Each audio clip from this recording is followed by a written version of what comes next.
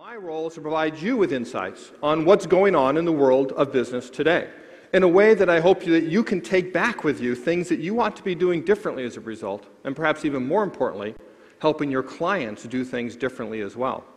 Now, since every person in here is a technology person, I wanted to start with a particular telling piece of technology, right? A, a piece of technology that has revolutionized its particular industry. Let me know if you've ever seen this technology before.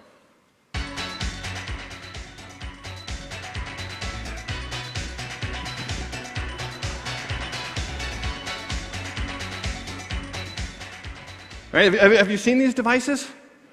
Right? This is known as the Gumball Wizard. And it's from a company called Global Gumball, and it has revolutionized the gumball industry.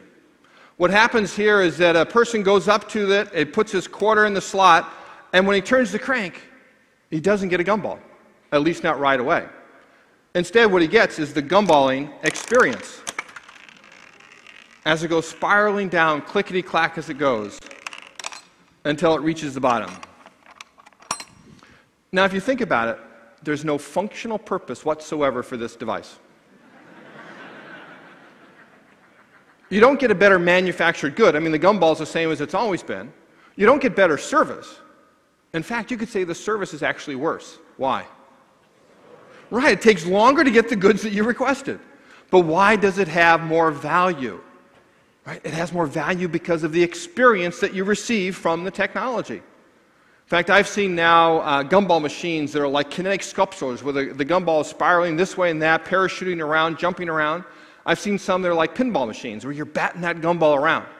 Right here, you want to take as long as possible before it drains down the middle and you retrieve your gumball.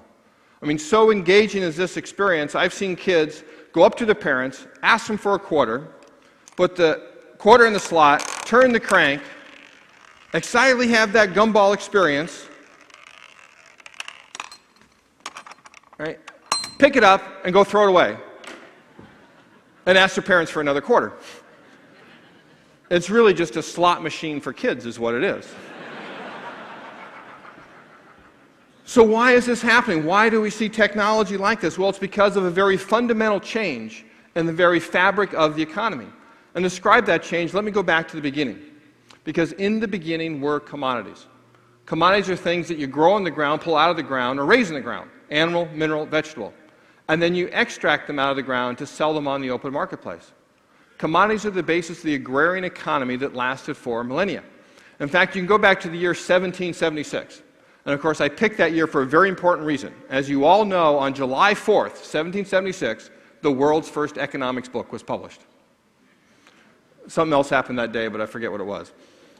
But if you go back to 1776, what would you guess was the percent of people that were employed on farms? It's over 90%. Over 90% of the people are employed on farms. But what's it down to today? It's down to almost 2%. From over 90% to 2%, with output skyrocketing. Thanks to technological and productivity improvements, it takes fewer and fewer people to produce more and more output. So people moved out of farms and into factories where they make or manufacture goods. Goods are the physical, tangible things that we touch and feel. Goods are the basis of the industrial economy. Go back 100 years ago, at the turn of the 20th century, over 40% of the people that were employed were employed in manufacturing jobs. Today, that's down to 12%. Again, from 40% to 12%. Meanwhile, output skyrocketed. Again, thanks to technological and productivity improvements, it takes fewer and fewer people to produce more and more goods. So people moved out of factories and into offices, into hotels, into restaurants, into hospitals, where they deliver a set of intangible activities on behalf of an individual person. That's what a service is. And today, 80% of employment is in services. 80% of gross domestic product is in services. And 80% of what customers want is, in fact, the service, not the good.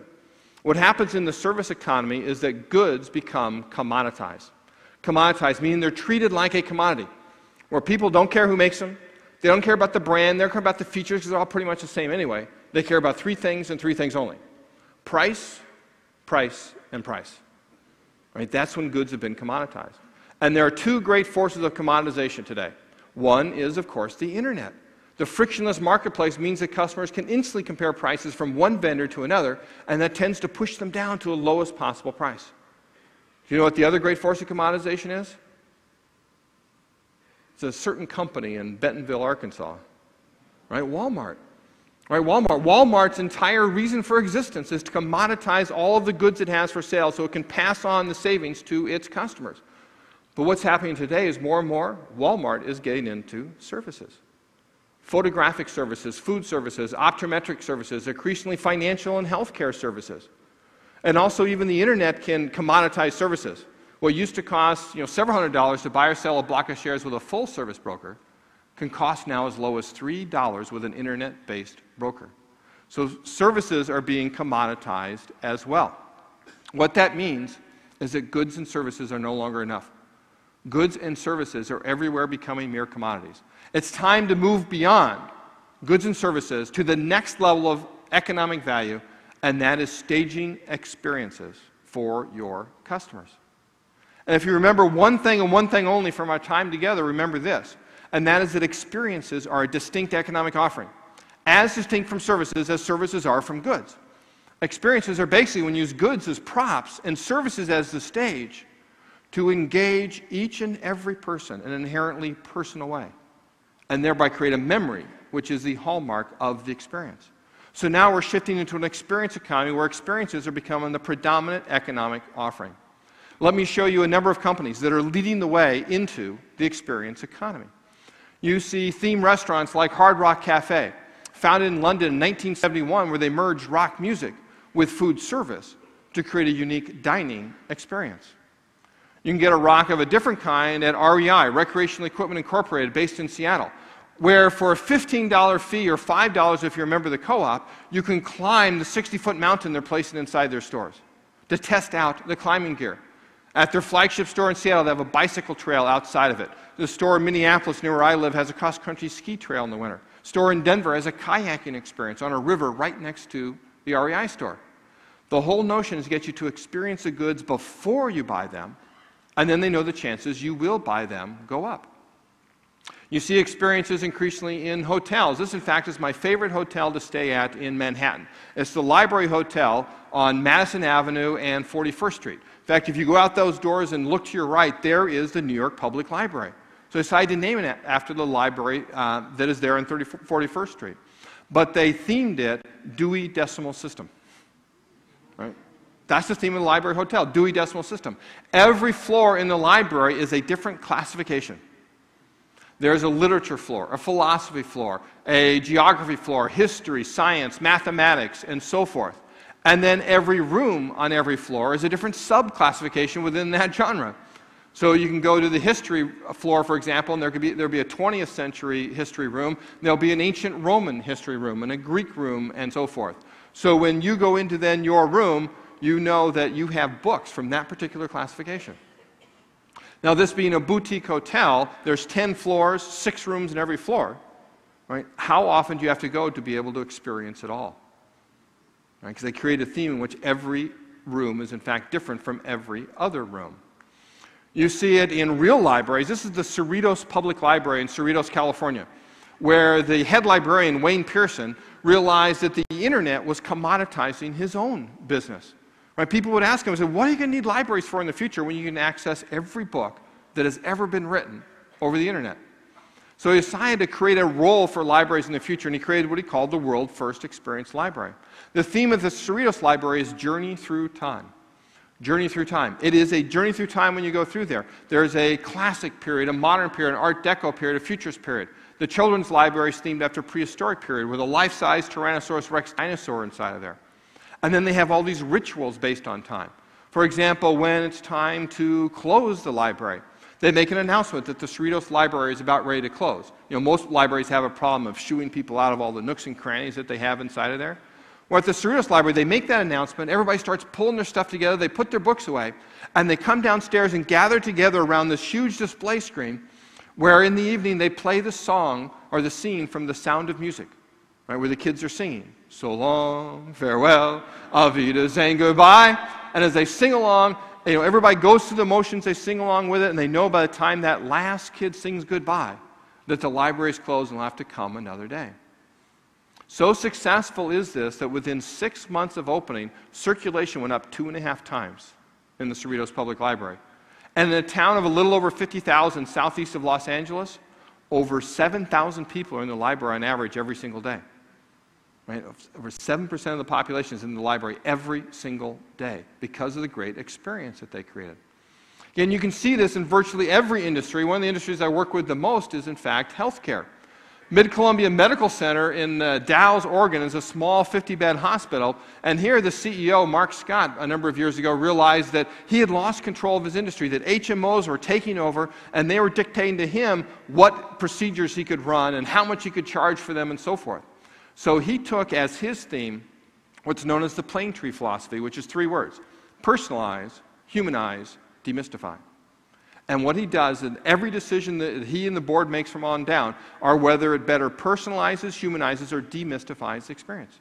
To personalize the experience, for example, you get to choose the own artwork that goes on your walls. You get to choose the own style and color of your robe that you wear. You know, whether it closes in back or not, completely up to you.